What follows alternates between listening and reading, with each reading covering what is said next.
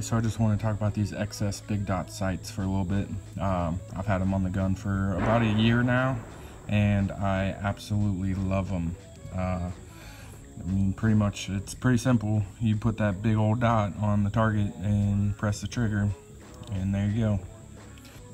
I've shot a lot of different types of sights, but as far as uh, like getting on target real quick, uh, you can see that V down in there, right?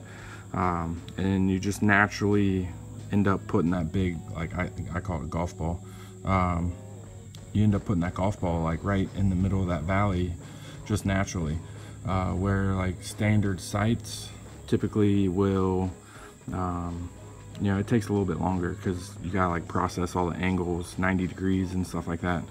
Um, so uh, even though you don't you're not really thinking about it you're just trying to line it up. Your brain is calculating do, do, do, do, do, do, do, trying to get all that stuff lined up.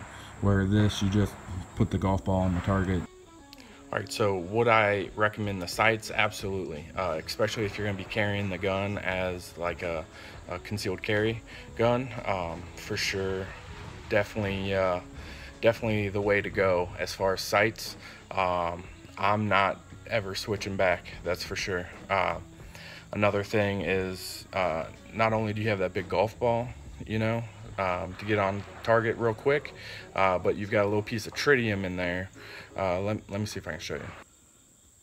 So I don't know if you guys can see it too good, but uh, inside the middle of that uh, white ring is a little piece of tritium. So you uh, can see it at night, which is pretty awesome. Um, they make some where this little white dash on the rear sight has a little piece of tritium. Um, I don't think they make it for the M&P series, but I know they do on the Glocks. So yeah, definitely if uh, if you're going to be carrying your gun all the time, I recommend getting those XS big dot sights.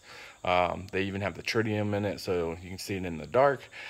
Hell yeah, uh, because you know most of the time when we're at the range, it's uh, daylight, you know, and uh, guess what? You're not always going to be using your gun in the daylight. So, you know, take that into consideration. And I hope you guys found this video useful. See you guys later.